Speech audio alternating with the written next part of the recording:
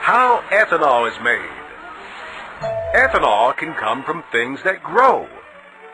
Starchy crops, sweet crops, and even plants or trees. These are what we call cellulosic material. But how do those crops get from the field to your fuel tank? It's a process that starts by grinding the feedstock into small particles and pulverizing the starch into a fine powder. Now add water and you have a nice mash going. Add a special enzyme and the starch breaks down into teensy tiny little particles. Want to see the starch liquefy and reduce bacteria? Turn the mash way down low to simmer. Now crank up the heat and the starch breaks down even more. Cool. No, really. Cool the mash before adding a second enzyme. This one helps to convert the liquid starch to a sugar, or dextrose as we science types call it. And now it's time for fermentation. Let's synchronize. For the next 48 hours, we're mixing mash and yeast. As all you chemists and magicians know, this is where the sugar, presto, changes to ethanol, and the natural carbon dioxide is separated. See this fermented mash? It contains about 10% ethanol. But which 10%? To extract that ethanol, crank up the heat again and watch the ethanol vaporize. Then cool, then condense into this splish splash liquid form. Now, you want to purify the mix, so remove any remaining H2O. And what's left is ethanol, about 200 proof.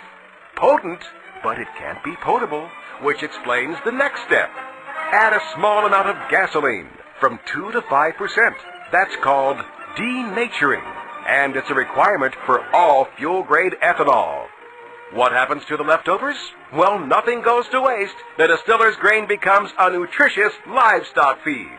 And carbon dioxide goes into carbonated beverages and dry ice. The remaining ethanol, like any fuel, is sold to distributors for delivery to neighborhood stations. What's at your pump? E10, a blend of 10% ethanol, can be used in almost any car manufactured since 1980.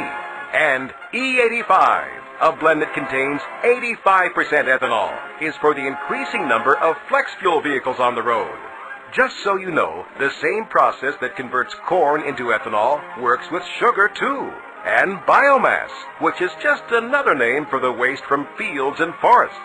Today, look around. There are ethanol production plants all over the U.S., with more popping up all the time. That means more ethanol-enriched gasoline available in more places. So next time your tank is on E, fill her up with a high-performance, renewable, ethanol-enriched fuel. It's good for your car because it runs cleaner and cooler. It's good for your country because it adds American jobs and reduces U.S. dependence on foreign oil.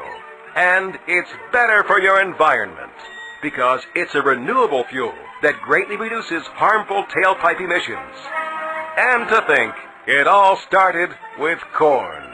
To learn more, visit our website at www.drivingethanol.org.